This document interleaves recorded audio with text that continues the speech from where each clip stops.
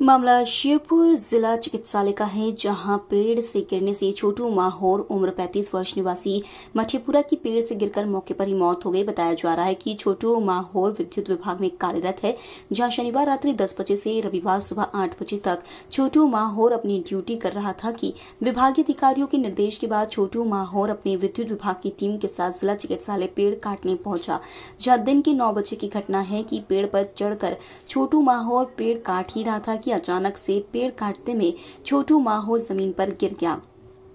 जहाँ सर फटने से मौके पर ही छोटू माहौर की मौत हो गई। मौत की सूचना के बाद परिजन और पुलिस मौके पर पहुँचे, जहाँ परिजनों का कहना है कि पेड़ काटते वक्त बिजली का करंट लगने से, गिरने से छोटू माहौर की मौत हो गई है। वहीं पुलिस ने मामला दर्ज कर विवेचना में ले लिया है।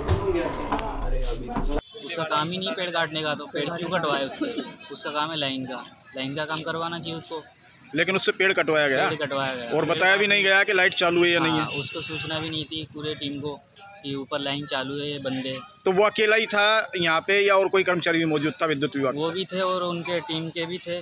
तो उसको भी पता नहीं था और टीम को भी ये पता नहीं था कि ऊपर इलेवन के भी नहीं नहीं टीम को पता होता है तो वो चढ़ते ही क्यों? पहली बात तो ये ना पहले तो उनका काम ही नहीं है कि पेड़ ही नहीं कटवाना चाहिए। लाइन का काम करवाना चाहिए उनको। पेड़ क्यों कटवाए? तो आपका कहने का मतलब ये कि करंट लगने से गिर करके उसकी मौत लगा होगा जब ऊपर लाइन चल रही है वो पेड़ काटेगा तो टच हुआ टच होने से उसको झटका लगा झटका होने से वो गिर गया नीचे। नीचे गिरते सर फट गया और खत्म हो गया। पांडे जी किस मामले को लेकर आप यहाँ हॉस्पिटल में उपस्थित हैं? अरे यहाँ हमको अभी फ़ोन से बताया गया था कि कोई पेड़ से गिर गया है।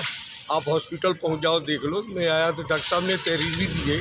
कि एक घायल आया है, पेड़ से बता रहे हैं गिर के। और उसको चोट लगने से, पेड़ से गिरने पे चोट आ जाती चोट लगने से मौत हुई है। और रहने वाला शायद मठेपुरा का रहने वाला है लड़का।